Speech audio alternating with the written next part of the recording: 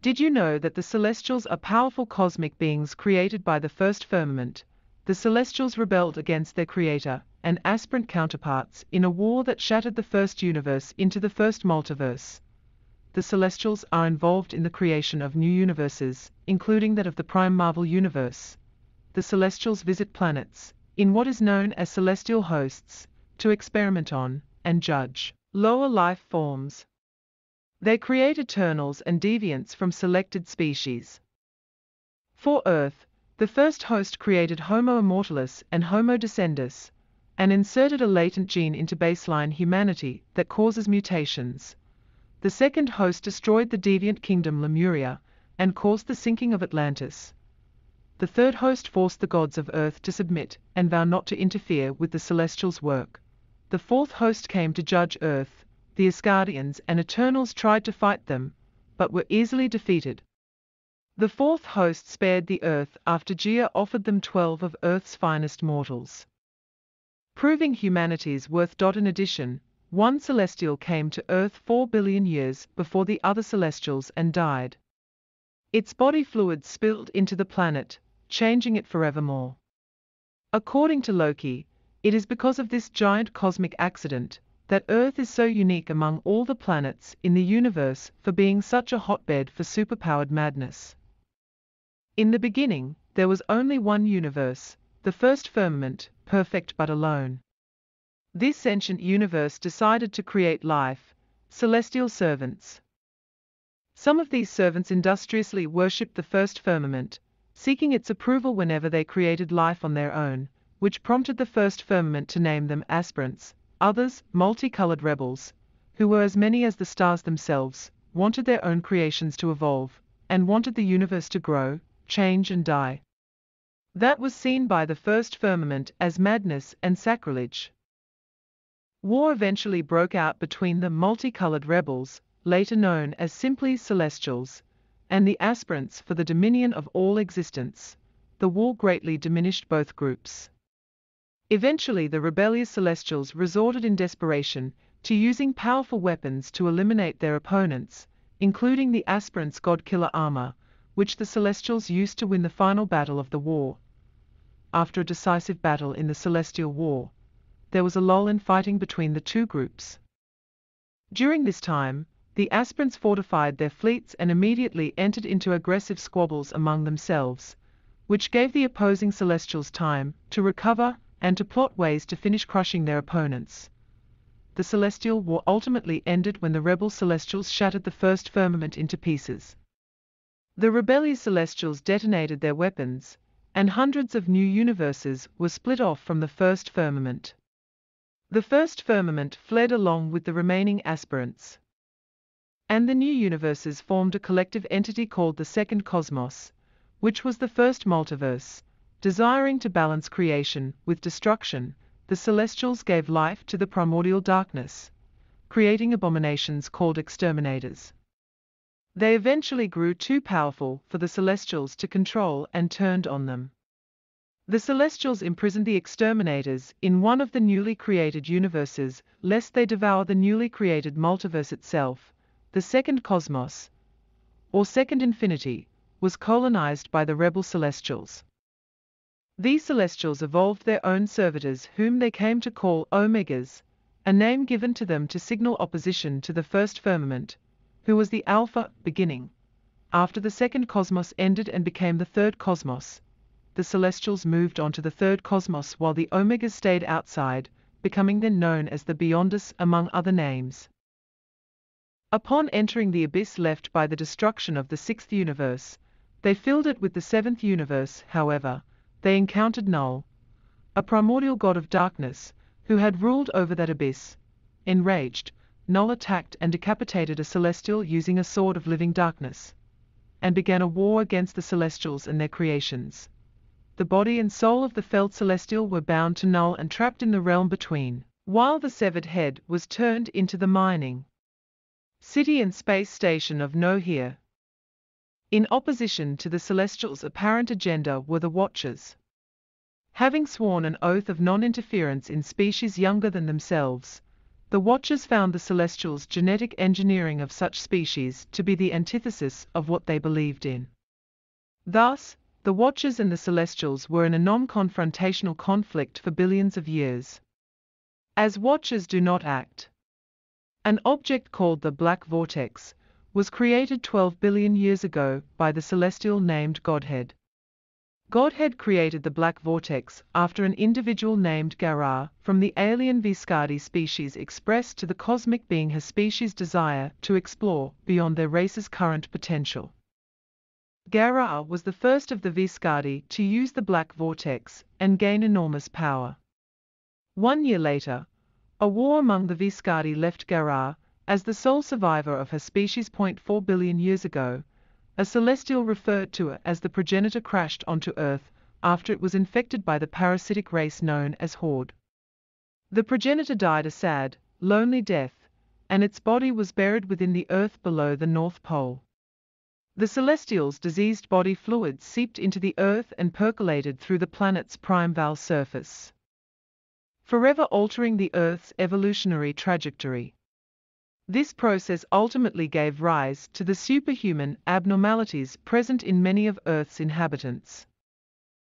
Four billion years ago, a celestial referred to as the progenitor crashed onto Earth after it was infected by the parasitic race known as Horde. The progenitor died a sad, lonely death, and its body was buried within the Earth below the North Pole. The celestial's diseased body fluids seeped into the Earth and percolated through the planet's prime val surface, forever altering the Earth's evolutionary trajectory. This process ultimately gave rise to the superhuman abnormalities present in many of Earth's inhabitants. A million years ago, a celestial named Zgreb the aspirant came to Earth in search for the progenitor. Zgreb found the progenitor and became infected with the horde. However, the horde mutated him into a rabid, dark celestial, the first of its kind. Zgreb went berserk and entered into conflict with the Avengers of the Stone Age. They defeated the weakened and sickly Zgreb and buried it underground in the territory that would become South Africa in modern times. The loss of the two Celestials drew the attention of the rest of their kind and a sizable group of celestials came to Earth to perform the experiment known as the First Host. The Stone Age Avengers tried to fight the visitors, but they were soundly defeated. To look after the result of the contagion, the first host of Celestials then genetically engineered 100 Eternals, Homo Immortalis, dot 30 in addition to that, they also created 100 grotesque deviants, Homo Descendus, and developed the X gene that would eventually give rise to mutants.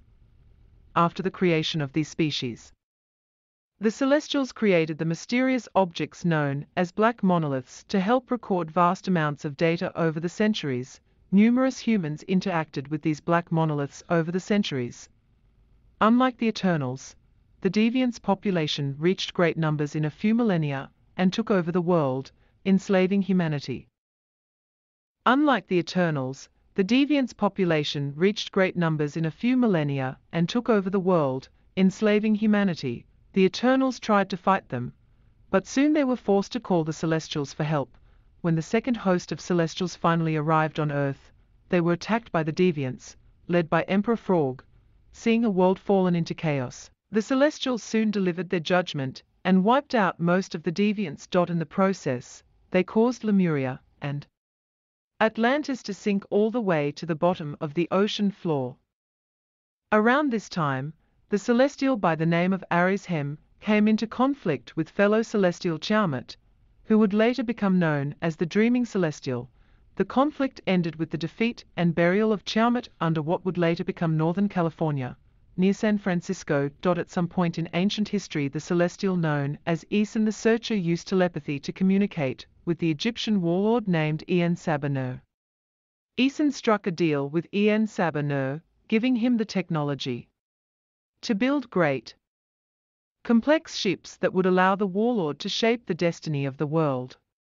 Eson also gave En Sabah the title of Apocalypse and stated that one day, maybe in centuries or millennia, the Celestials would come for payments for their gifts.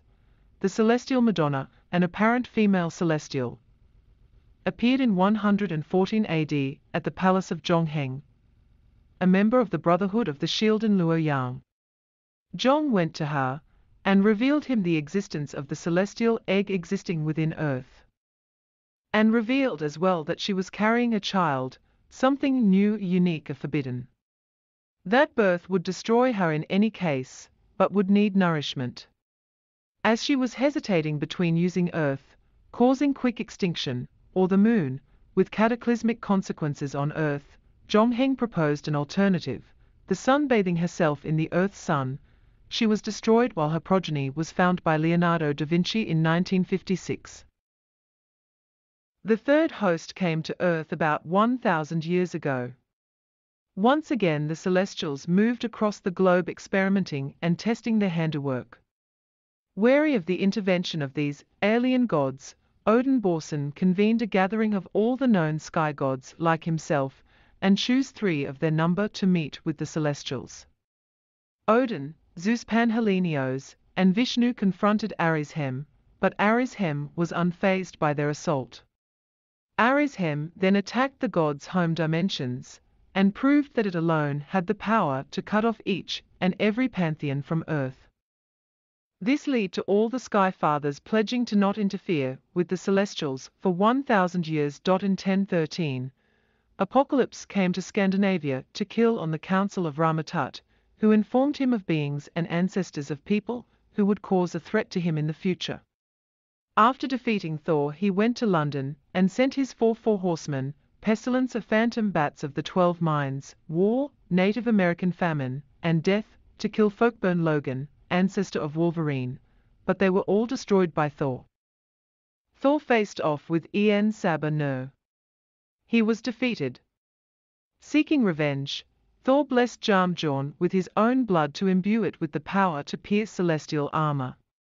Not willing to accept defeat, Apocalypse destroyed his celestial pyramid ship in a failed attempt to kill Thor. Dot In the mid-12th century Holo Shan mountains of northern Mongolia, Nur heard of a ruler, a feared immortal magician, whose magics are such that legions ran in fright.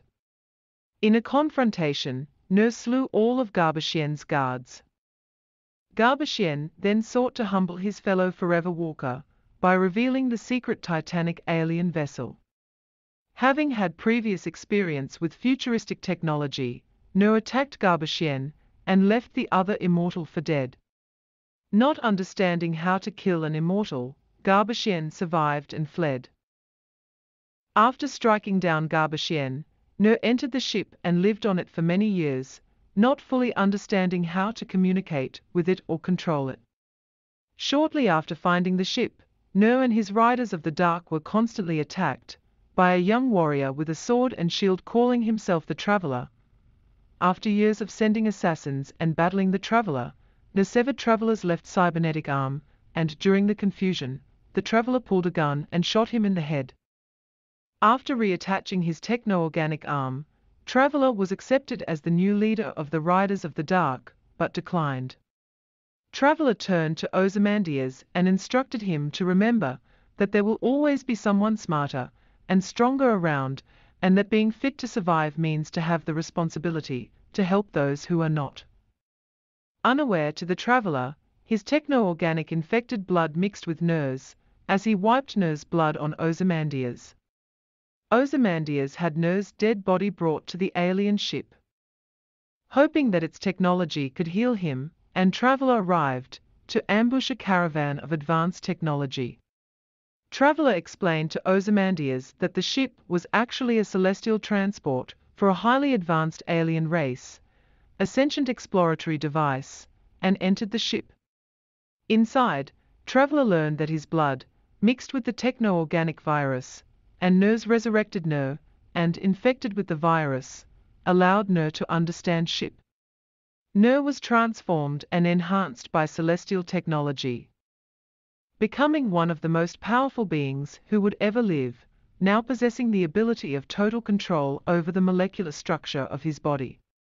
Angry at the revelation, Traveler told Nur that if he was responsible for his immortality, he would make Nur spend eternity far away from there and sent both ship and its passenger far into space.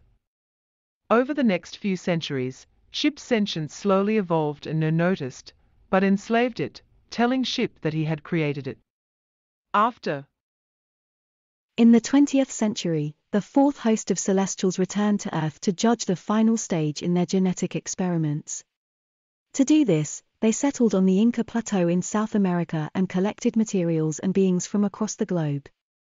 The appearance of these enigmatic giants around the world terrified the world's population and triggered the attempted intervention of S.H.I.E.L.D. The Celestials sealed themselves inside an impenetrable dome and began their judgment. Odin, fearful of celestial power and angered by their interference on Earth, gathered the life force of all of Asgard to battle the Celestials for the fate of the Earth. Despite having Thor and the Eternals at his side, the Celestials defeated Odin and spared the Earth after the intervention of Gaia and the gift of 12 special humans selected from every pantheon. The fourth host then left Earth erasing the memory of their existence from the minds of humanity early in the 21st century, after being manipulated into awakening the dreaming celestial, the Eternals learned that it was only through the efforts of the eternal Makkari that it did not reset local spacetime 1 billion years past or destroy this corner of the Milky Way galaxy. It was angry over its imprisonment but decided instead to observe and investigate the Earth. The very presence of the dreaming celestial was initially considered a threat and dangerous to the very existence of humanity, and all life on Earth by the Avengers. It was only through the mental intervention of the Eternals that the 2,000-foot golden celestial now standing in Golden Gate Park, was accepted by humanity at large. As time passed, the celestial's emotional and mental stability was becoming more and more erratic as it claimed to be questioning the reason for its imprisonment. Its place as designated by the fulcrum and its his plans for all of creation. The dreaming celestial began exhibiting more non-celestial behaviors, such as admiring Iron Man's guile in battle and the undoing of the death of the eternal Thena's human son, so much that Uatu the Watcher began to question the Celestial's mental balance. Soon after the High Evolutionary and Mr. Sinister tampered with the Dreaming Celestial's armor, the Prime Celestial host came to Earth, apparently finally taking an interest in its reawakening. Cyclops' extinction team boldly attempted to bluff the assembled Celestials. Asking them to leave, they consented, but only when the dreaming celestial itself, no longer infested by Mr. Sinister's machinations, told them to by pointing skyward. By this time, the dreaming celestial's confusion and questioning of itself was beginning to physically affect the people it communicated with culminating in the death of Makkari, the subsequent death of Circe, and rebirth of Makkari all due to the Eternal's relationship with the Celestial. Finally confronting its creator, the fulcrum jack, it chose to leave this plane of existence with it him. The celestials thought that with life and creation there must be death and destruction, so they created the exterminators to be that death and destruction. However, the exterminators turned against the celestials who couldn't kill them, so they separated the universe into the multiverse and imprisoned and bonded them into space between the walls separating realities. However, the Celestials didn't learn from their first mistake and created the Death Seed with the same purpose. But far more manageable, the exterminators were trapped in their prison for millennia, until the walls between realities began to weaken. Tears, cracks, and fissures grew larger and larger until the exterminators were able to escape. The Celestials thought that with life and creation there must be death and destruction, so they created the exterminators to be that death and destruction. However, the exterminators turned against the celestials who couldn't kill them, so they separated the universe into the multiverse and imprisoned and bonded them into space between the walls separating realities. However, the celestials didn't learn from their first mistake and created the death seed with the same purpose, but far more manageable. The exterminators were trapped in their prison for millennia, until the walls between realities began to weaken. Tears, cracks, and fissures grew larger and larger until the exterminators were able to escape. AOA Nightcrawler and Dark Beast used the Dreaming Celestial to create a portal to their world. Unfortunately, this portal opened the rift between realities wide enough for the exterminators to pass through to Earth 295.1 of the exterminators departed to Earth 616 where he drained the dreaming celestial while the other two exterminators remained on Earth 295. One feeding off the rift and the other seeking out the power of apocalypse in the death seed, once again, as Tiamut was supposedly already dead by its own hand on Earth 616. Celestial events become convoluted and almost mythological. Kang the Conqueror recovered Jarnbjorn from Baron Mordo's tomb in Brazil. Kang gave the axe to Uriel during his training to become the new Apocalypse. Uriel used the weapon to kill a celestial gardener outside the Starcore station as part of the Apocalypse twins' plan to trick the Celestials into destroying Earth while they evacuated all of Earth's mutants to Planet X. Thor later retrieved the Jarnbjorn and used it to kill-destroy the space armor of Exitar the Executioner before it could destroy Earth. Whether this truly destroyed the Celestial, or merely shunted it back to wherever the Celestials truly live as the Invisible Woman had previously done to help end the so-called Celestial Watcher War is unknown. After Exitar's destruction, Sentry revealed to Wasp that he would take a great journey moving the celestial body far from Earth. Before leaving, he warned her that they must prepare themselves because the Celestials' wrath would be mighty. Among their many solutions to halt the incursions, the Illuminati asked Galactus to arrange a meeting with the Celestials so the group could ask them for help. However, during the meeting, the Celestials mysteriously vanished. The explanation for this event was that the Celestials were being attacked in every universe at the same time by the Beyonders, who after a long battle managed to kill them all.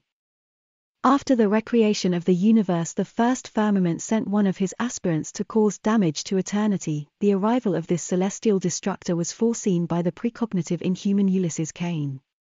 The entity appeared in New York City near Stark Tower where it was confronted by the joint forces of the Avengers, Avengers Unity Division, New Avengers, Ultimates, A-Force, X-Men, New Attilans Inhumans, and other heroes including Doctor Strange, Scarlet Witch, Hellstrom, Shaman, Spider-Man, War Machine, Spider-Woman, Wolverine, Hulk, and Hercules. While most of the heroes were busy fighting the servitors, the magic users of the group cast a spell that returned the Celestial to its own dimension. As it turned out, not all of the Celestials were destroyed by the Beyonders. A handful of survivors managed to escape and hide out at the furthest edges of the universe within the deep folds of spacetime. Unlike the other cosmic beings, the celestials that were destroyed were apparently not brought back to life when the multiverse was restored. The surviving celestials were confronted by Logos, the fusion of Lord Chaos, Master Order, and the In-Betweener. Logos believed himself to be the new judge of worlds, something the celestials formerly did. Logos considered the celestials to be unwanted competition as judges of worlds and thus destroyed the surviving celestials, though he was told that nothing truly died by the Queen of Nevers. Who secretly saved the one above all while Logos killed the other Celestials, making him the last Celestial. It was later revealed that Logos was being manipulated by the first firmament in a bid to return to its original position as everything that is, the Celestials were eventually returned to life as the fifth host by the Queen of Nevers to thwart the first firmament's attempt to take over the multiverse, Zgreb was eventually awakened in modern times when a team of archaeologists uncovered the underground cavern it was sealed in. The fallen shouted summon, the final host, while killing the archaeologists. Later, Loki, the Asgardian god of mischief, released the fallen from its prison and used it to bring about the final host of dark celestials in order to wipe out Earth, arguing that the planet was ill-ridden as a result of the progenitor's arrival and death having altered the Earth's evolutionary trajectory billions of years prior.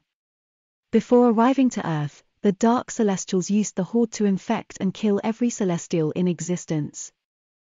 Their bodies were hurled to the earth to herald the arrival of their murderers. During the Avengers' final stand against the Dark Celestials, the bodies of the felled Celestials were reanimated by the Horde.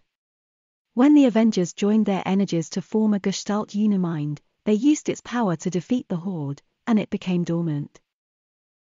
The Celestials were freed from its influence, and they helped the Avengers take down the Dark Celestials. En route to Earth, Null decided to settle his eons-old score with the Celestials and slew at least three of them, reanimating and controlling their corpses using his living abyss. The Celestials usually appear as massive armor-clad humanoids of enormous size, with most of them standing 2,000 feet in height and some even larger which Exitar stands over 20,000 feet high, each varies in color and design, which is very elaborate in some individuals.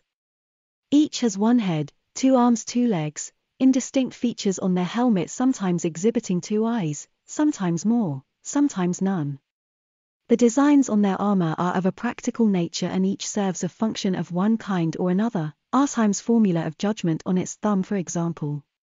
Many, but not all, also have great equipment on their backs or carry great staffs capable of breaking down and reconstructing all forms of energy matter or lay waste of entire continents.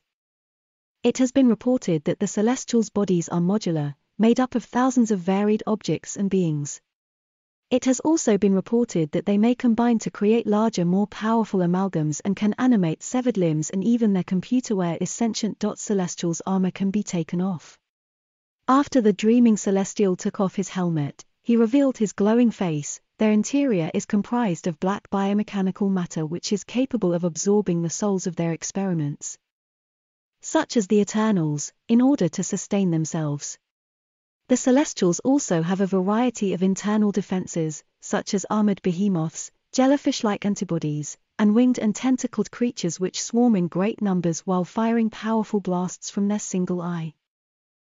Allegedly, no one has even seen a celestial without armor.